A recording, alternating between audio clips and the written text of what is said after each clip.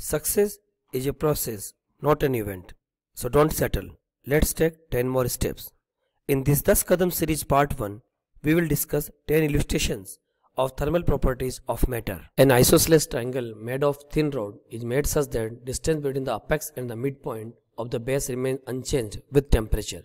Means size is increasing but with this length from this apex to the center is always constant. Find the relation between L1 L2 in terms of the alpha 1 and alpha 2. Let me say this point is A, this is B, this is C and this is D. And if length is changing, D is going to D dash, B is going to B dash, C is going to C dash. So what we have to prove? We have to prove AD is given by AD dash. Now what is the value of the AD? AD की value क्या होगी?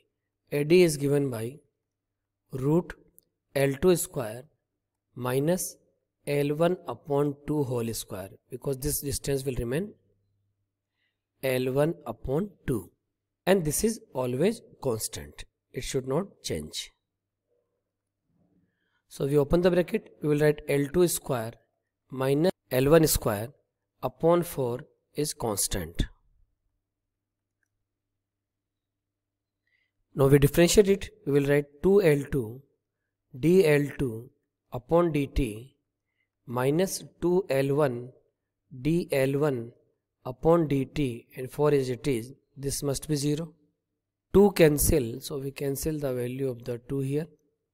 L2 dL2 we know change in length L2 minus L1 equal to alpha L1 delta t.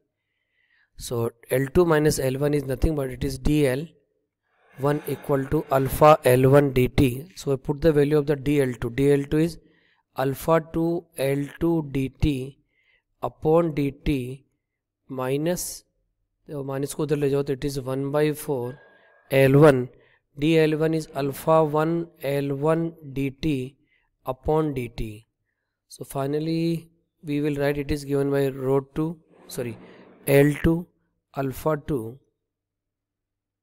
into L2 equal to 1 by 4 L1 alpha 1 into L1 or we can say alpha 2 L2 square equal to 1 by 4 alpha 1 L1 square.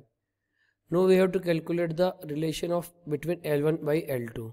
So L1 square upon L2 square is given by 4 alpha 2 upon alpha 1. So L1 by L2 is written as 2 root alpha 2 upon alpha 1. So right answer of this problem is option C that is 2 root alpha 2 upon alpha 1.